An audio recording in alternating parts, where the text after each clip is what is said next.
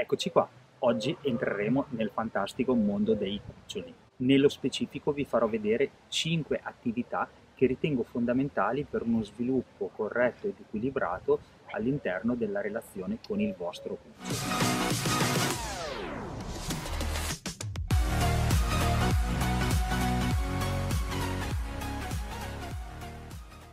L'arrivo di un cucciolo all'interno della nostra vita rappresenta sempre un motivo di grande entusiasmo. Che si tratti del primo cane o che si abbiano già avuto esperienze precedenti, nell'attesa comunque si costruiscono aspettative e nonostante tutte le buone premesse ci troviamo comunque davanti a due possibili scenari. Adopter numero uno, ovvero quello che lascia fare tutto al cane, tutto è permesso, zero regole e assolutamente a disposizione al 100% del cane. Tutto questo motivato dal fatto tanto è un cucciolo. Giusto per fare aprire e chiudere una parentesi, ma l'avete visto il tanto è un cucciolo, la mamma come se lo gestisce? Facendo una considerazione anche legata a, a qualche decennio fa, uh, c'era chi sosteneva che il cane eh, aveva necessità di crescere in maniera uh, libera fino a un anno perché a fronte di qualsiasi cosa avrebbe sempre messo il gioco davanti a tutto, come che questo rappresentasse un problema, ma questa cosa stava in piedi perché? Perché dal momento che eh, si iniziava a parlare di quella che era un, eh, assolutamente non si parlava di educazione, ma si parlava di addestramento, a quel punto si iniziava con una serie infinita di regole eh, che andavano a modificare quelli che erano comportamenti che il cane aveva preso. Ma vista oggi tutta questa cosa e anche da diversi anni, perché? Cosa c'era di sbagliato e cosa c'è di sbagliato nel pensare di costruire quello che è un rapporto con il cane utilizzando oh, l'elemento ludico, soprattutto la, la, riflessione che solitamente io propongo alla gente è quella del, eh, del, bambino che parte, va alla materna, fa le elementari, le medie, le superiori, eventualmente l'università, ma i programmi che vengono strutturati e che vengono proposti alle, eh, al nuovo alunno o al bambino saranno dimensionati e tarati in base all'età del, del, dello studente, dell'allievo e saranno oh, proporzionati a quelli che sono gli obiettivi da, da raggiungere. Di conseguenza, perché non fare la stessa cosa anche con il cane? Passiamo ora invece all'adopter numero 2, ovvero quello super organizzato, super performativo che attraverso un full immersion di 15 giorni proporrà al cane quelle che sono materna, elementari, medie, superiori e probabilmente anche l'università. Adopter numero 1 e adopter numero 2 in entrambi i casi hanno necessità di affrontare alcune considerazioni. Partiamo dal fatto che già l'adozione di per sé rappresenta un cambio, un cambio importante perché fino al secondo, terzo mese, ovvero per il 100% della vita che ha affrontato il cane, il cucciolo fino a quel momento, rappresenterà un cambio completo e tutto questo non farà altro che portare stress. Quando si parla di stress eh, ne siamo purtroppo a conoscenza perché eh, direttamente l'abbiamo provato su di noi.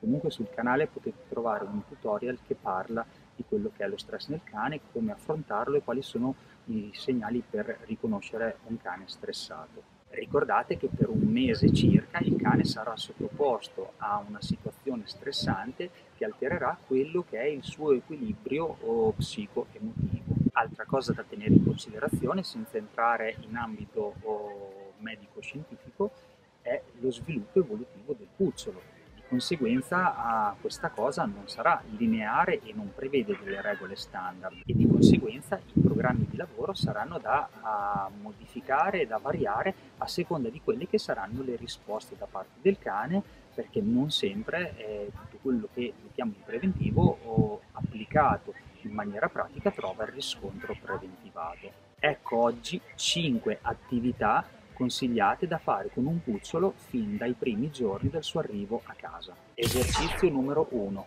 Il Doggy Zen.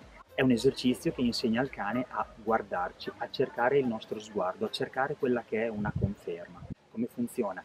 Prenderemo un bocconcino, lo metteremo all'interno della nostra mano e, e, proporremo la mano al cane. Il cane proverà in maniera naturale a mordicchiare, scardinare, utilizzare una zampa e quant'altro per cercare di arrivare al premio a un certo punto, noi sempre fermi e in silenzio, dal momento che il cane ci guarderà per cercare di capire che cosa deve fare? Apriremo la mano e andremo a dare il premio. La funzione di questo esercizio qual è? Abituare il cucciolo a chiedere conferma, a chiedere una sorta di posso fare, posso andare e soprattutto lavorare sull'attenzione nei nostri confronti. Esercizio numero 2, il seduto. Iniziamo a insegnare al cane che dal momento che ha bisogno di qualcosa possa pensare che mettendosi seduto riesca ad ottenere un premio. Prenderemo un bocconcino, lo metteremo in alto o, e aspetteremo che il cane si metta seduto.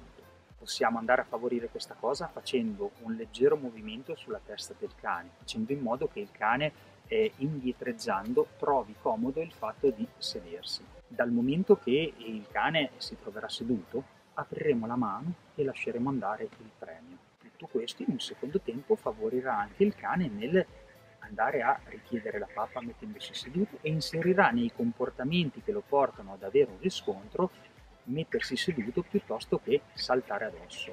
Ricordiamoci sempre che eh, il cane in natura a, a salta addosso e morde e in questo modo oh, stabilisce tutta una serie di interazioni e attività nel quotidiano noi in questo modo che cosa faremo? Non faremo altro che proporre un'alternativa, ovvero mi metto seduto, ti guardo e aspetto e ottengo un premio che va a eh, sostituirsi alle attività che in maniera naturale il cane aveva appreso dai fratelli.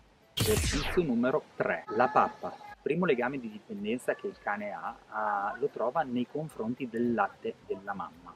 Di conseguenza, perché non sfruttare la possibilità che abbiamo ogni giorno nel somministrare la pappa al cane utilizzando una serie di regole e attenzioni che portino il cane a, a riconoscere il fatto che comunque siamo noi che gli proponiamo la pappa. Il rito alimentare in natura ha sicuramente un grosso significato, ma noi in questo modo non faremo altro che abituare il cane a rimanere fermo, seduto, aspettare e guardarci. Allo stesso modo, dal momento che la nostra mano gli dirà puoi andare, il cane andrà sulla pappa. Solitamente durante la fase di preparazione il cane inizia a saltarci addosso, inizia a mordicchiarci, inizia a cercare di fare tutta una serie di comportamenti che lo possano portare ad avere il prima possibile la pappa. Noi a questo punto che cosa dobbiamo fare? Prendiamo la ciotola, la teniamo in mano, aspettiamo che il cane si metta seduto e dal momento che il cane si mette seduto appoggiamo la ciotola. Solitamente in una situazione normale il pronti via, lo start, è dato dalla ciotola che si appoggia. Noi non faremo altro che abituare il cane ad andare sulla pappa dal momento che la nostra mano gli darà l'autorizzazione. Vai. Esercizio numero 4. Il richiamo. In natura come fanno i cani a richiamarsi? La gente solitamente mi dice ah baia, eh, eh, fa un fischio e tutto. No, in natura fanno queste mosse. Si abbassano, si girano e vanno via. In questo modo ti hanno chiamato. Lo fanno anche con noi quando vogliono che li inseguiamo, lo fanno con gli altri cani e quindi questo è il modo con il quale il cane dice vieni, provate a fare questa, questo esperimento con il cane. Mettetevi bassi e eventualmente girate anche la schiena, vedrete che tempo un paio di secondi il cane verrà da voi. In un secondo tempo, oh, e questo vale sia per gli esercizi di Doggy Zen, eh, Pappa, e tutti gli altri esercizi che eh, propongo io, non utilizzate mai la parola come eh, elemento primario per chiedere al cane l'esercizio, ma lavorate sempre utilizzando la prossemica, la postura del vostro corpo, perché diventa molto più semplice per il cane andare a leggere quello che il nostro corpo gli comunica. In un secondo tempo inizierete in giro per la casa, nel cortile, in ambienti dove non avete bisogno di legare il cane, richiamarlo in maniera a, facendo urla e situazioni sconsiderate, a proporre al cane quello che è un vieni, vieni, dal momento che il cane viene da voi, premio e lo lasciate andare. Tutto questo che cosa farà? Diventerà sinonimo di vengo un attimo a prendere un premio o vengo un secondo e mi fai due coccole e, e rappresenterà una cosa positiva. Perché nella normalità il richiamo rappresenta una delle difficoltà più grosse alle quali vi trovate di fronte? Perché solitamente viene proposto come un eh, sinonimo di fine libertà, sinonimo di, di impedite al cane di continuare a fare un qualcosa di piacevole.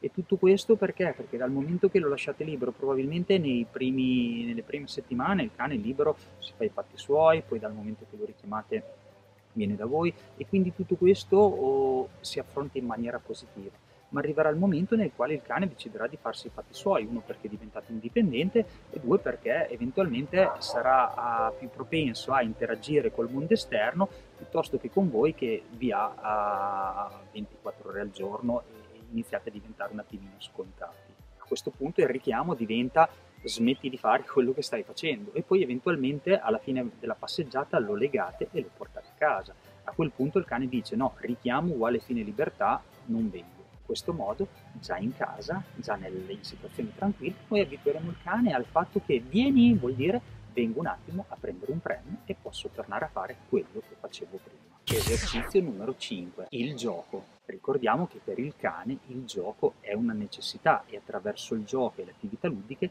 impara a interagire, fa esperienze e si relaziona. Quando parliamo di gioco possiamo parlare di pallina, trecce, legnetti, eventualmente in un secondo tempo anche problem solving e tutto comunque deve essere eh, gestito o ancora meglio organizzato dalla Doppler.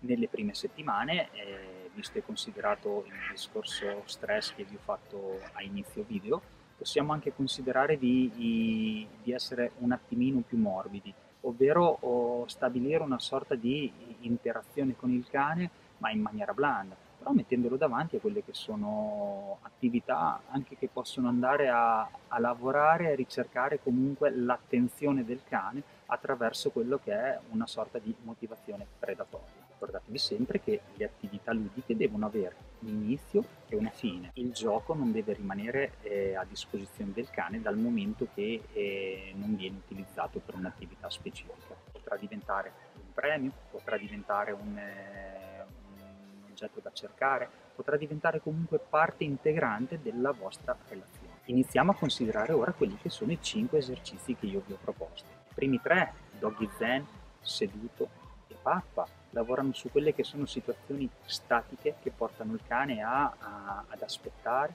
guardarci e rimanere comunque eh, in una situazione di tranquillità. Il richiamo e il gioco diventano oh, stimoli dinamici sui quali non facciamo altro che lasciare al cane la possibilità di, di un attimino di, di, uscire da quelle che sono situazioni che gli vanno a dare un minimo di, di regole. Come nei primi tre esercizi andiamo a dare una sorta di, regole e andiamo a creare un punto di riferimento oh, nella nostra figura con richiamo e gioco non facciamo altro che mettere le basi per quelle che saranno poi attività più complesse che struttureremo in un secondo tempo. E le cinque attività che ho proposto possono essere fatte anche in casa, di conseguenza il non ho tempo non giustifica il vostro non lavorare. Ricordatevi sempre di tenere tempi molto corti. Uno perché si tratta di un cucciolo e quindi i tempi d'attenzione sono comunque ridotti e due perché è importante finire alla fine di un esercizio quando il cane ha ancora voglia di, di giocare e ancora interesse nei confronti di quello che gli abbiamo proposto. Ah, dimenticavo,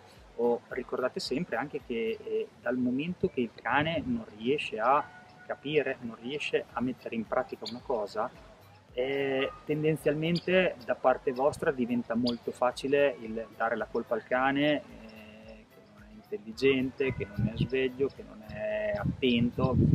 Nella realtà uh, io vi dico, provate a pensare invece al fatto di non essere stati sufficientemente chiari nel proporre al cane quello che volevate da lui. Se ti è piaciuto questo video metti un like, iscriviti al canale per rimanere aggiornato ogni qualvolta pubblicheremo un video nuovo. Oh.